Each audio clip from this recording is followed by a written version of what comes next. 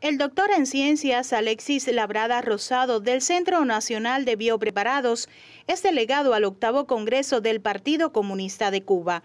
Su trayectoria científica, disciplina, ser ejemplo entre sus compañeros, ennoblecen su labor como militante.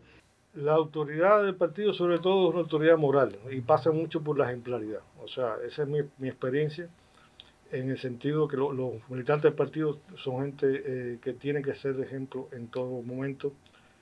Es un trabajo muy abnegado, muy sacrificado. Es poner casi siempre los intereses comunes del colectivo por encima de los suyos propios. Y eh, eso implica también una cuota importante de, sacrificio de cada cual. Eh, para mí, bueno, ha sido es un trabajo también que tiene, tiene sus frutos, ¿no? Se ven los frutos. Y eso también es apreciable, ¿no? Y es, estimulante en el sentido de que eh, uno nota que eh, tiene un efecto, tiene un impacto en los resultados del, colectivo.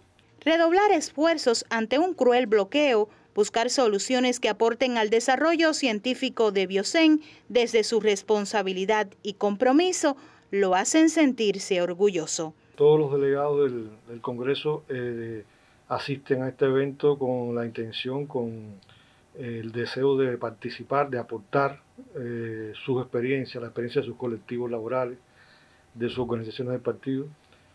Y en ese sentido nosotros también tenemos las nuestras, ¿no? En el sector específicamente de la ciencia y la tecnología, en el campo biofarmacéutico.